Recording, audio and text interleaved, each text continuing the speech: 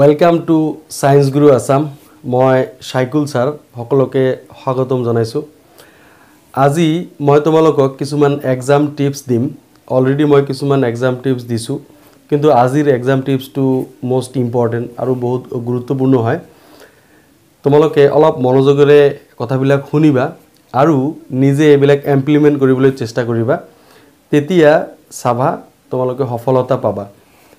প্ৰথম কথা এইটোৱে যে তোমালোকৰ এইচ এছ এল চি এক্সামত ছয়টা ছাবজেক্ট আছে।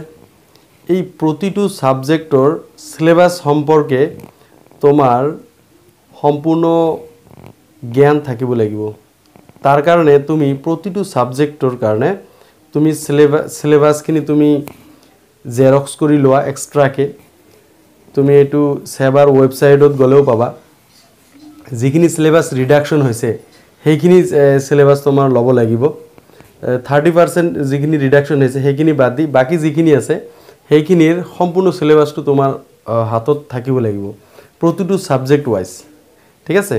যে ইংৰাজীৰ কাৰণে কোনখিনি চিলেবাছ আছে এতিয়া অসমীয়াৰ কাৰণে কোনখিনি চিলেবাছ আছে ঠিক তেনেকৈ গণিত বিজ্ঞান সমাজ বিজ্ঞান আৰু ইলেক্টিভ ছাবজেক্ট বেলেগ বেলেগ থাকে।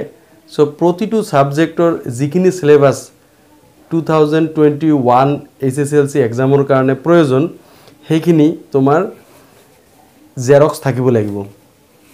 তাৰপিছত তুমি নিজে এইটো হিচাপ কৰি উলিয়াব লাগিব যে তুমি আজিৰ ডেটত কিমানখিনি তুমি কভাৰ কৰিব পাৰিছা প্ৰতিটো ছাবজেক্টৰ কাৰণে।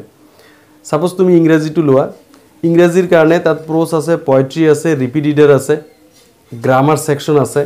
আকৌ কম্প্ৰিহেনশ্যন আছে পেছেজ আছে।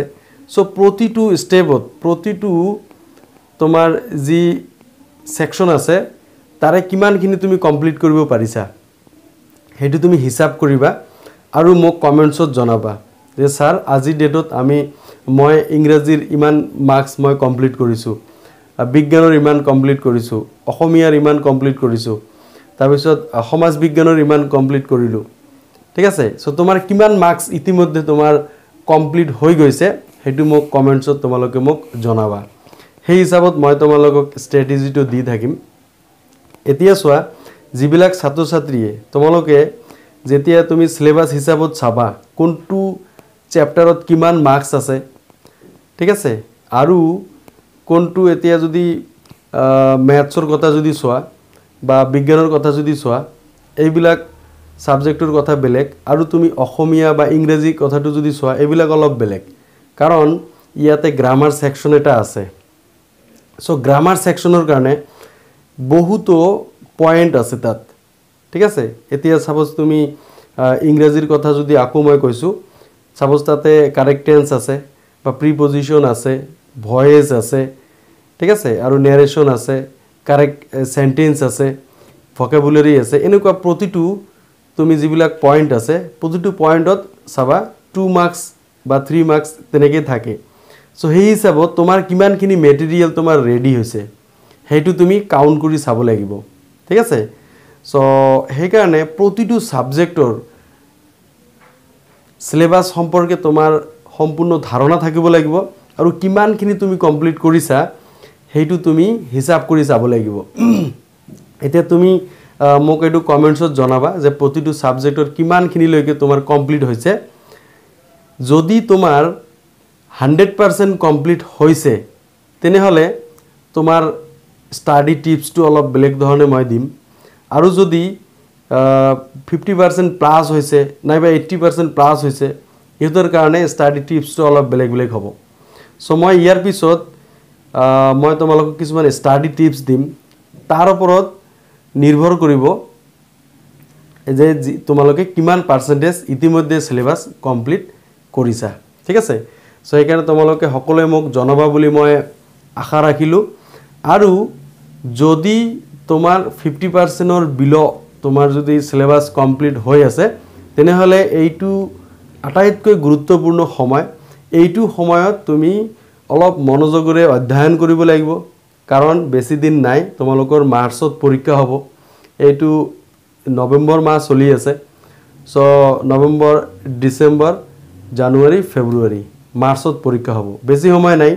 চ' this is the right time to study well আৰু যদি তেনেকৈ সময় যদি তোমালোকে ব্যৱহাৰ কৰি সঠিকভাৱে সময়ৰ ব্যৱহাৰ কৰি যদি আগবাঢ়ি গৈ থাকা তেনেহ'লে প্ৰতিটো ছাবজেক্টত তুমি সফলতা পাবা। আৰু যদি তুমি নাইণ্টি প্লাছ বা হাণ্ড্ৰেড নাইবা প্ৰতিটো ছাবজেক্টত যদি লেটাৰ পাব খোজা, তেনেহ'লে তোমাৰ উইথিন নৱেম্বৰৰ ভিতৰত তুমি প্ৰতিটো ছাবজেক্ট কমপ্লিট কৰিবলৈ চেষ্টা কৰিব লাগিব। প্ৰতিটো ছাবজেক্ট উইথিন নৱেম্বৰত। আৰু ডিচেম্বৰ মাহত ডিচেম্বৰ মাহত মই তোমালোকৰ প্ৰতিটো ছাবজেক্টৰে যদি সম্ভৱ হয় তেনেকুৱা ৰিচ'ৰ্চ পাৰ্চনৰ পৰা মই চেম্পল পেপাৰ মই কালেকশ্যন কৰিম আৰু সেইবিলাক ছায়েন্স গুৰু আছামত তোমালোকে পাই যাবা আৰু সেই চেম্পল পেপাৰৰ তোমালোকে ঘৰত বহি এক্সাম দিব পাৰিবা। তোমালোকৰ কাৰণে মই বহুত যিমানখিনি কৰিব লাগে বহুতখিনি কৰিব পৰা নাই কিন্তু মই চেষ্টা কৰিম যাতে তোমালোকক সহায় কৰিব পাৰোঁ আৰু সঠিক দিশত যাতে আগুৱাই লৈ যাব পাৰোঁ। সেইকাৰণে তোমালোকে অলপ মনোযোগেৰে অধ্যয়ন কৰা আৰু ছায়েন্স গুৰু আছাম এই চেনেলটো চাই থাকা যাতে তোমালোকে তোমালোকৰ ষ্টাডিত যাতে অলপ অগ্ৰগতি লাভ কৰি ভাল ফলাফল তোমালোকে যাতে পাব পাৰা। এইখিনিতে তোমালোকে এটা গুড নিউজ দিব বিচাৰিছোঁ। এইটো হৈছে কি ছায়েন্স গুৰু আছামত ইতিমধ্যে ছায়েন্সৰ গোটেই চিলেবাছ কমপ্লিট কৰি দিয়া আছে। আমাৰ ছুপাৰ ৰিভিজন ছিৰিজ চলি আছে। আগতে মই অলৰেডি ফিফটিন চেপ্টাৰৰ নোটছ মই ক্লাছত দি দিছোঁ। গোটেইখিনি ক্লাছ তোমালোকে প্লে'লিষ্টত গৈ ফুল চেপ্টাৰৰ ভিডিঅ' তোমালোকে চাব পাৰিবা। আৰু ছুপাৰ ৰিভিজন ছিৰিজত বিভিন্ন চেপ্টাৰ আলোচনা কৰাৰ উপৰিও ইম্পৰ্টেণ্ট কুৱেশ্যন আৰু প্ৰিভিয়াছ ইয়েৰৰ কুৱেশ্যনৰ ভিডিঅ' মই বনাই দি আছোঁ। তেনেকৈ আগবাঢ়ি গৈ থাকিম আৰু ফিফটিন চেপ্টাৰ তোমালোকৰ কমপ্লিট হৈ থাকিব। তাৰ লগতে মই ভাবিছোঁ যে ইংৰাজী ছাবজেক্টৰ কাৰণে এটা মই ছিৰিজ অতি সোনকালে মই লঞ্চ কৰিম। আৰু এইটো ইংৰাজী গ্ৰামাৰ ছেকশ্যনৰ কাৰণে হ'ব। তো তোমালোকে কেইদিনমানৰ ভিতৰতে এই গুড নিউজটো পাই যাবা আৰু এই ভিডিঅ'বোৰ মই তোমালোকৰ কাৰণে দি থাকিম। ঠিক আছে? চ' এইখিনিতে যদি তোমালোকৰ এই ভিডিঅ'টো ভাবা যে সেইটো হেল্পফুল তেনেহ'লে তোমালোকৰ তোমালোকৰ যিমান বন্ধুবৰ্গ আছে, সকলোৰে লগত এইটো শ্বেয়াৰ কৰা আৰু চাই থাকা ছায়েন্স গুৰু আছাম ঠিক আছে? Thank you very much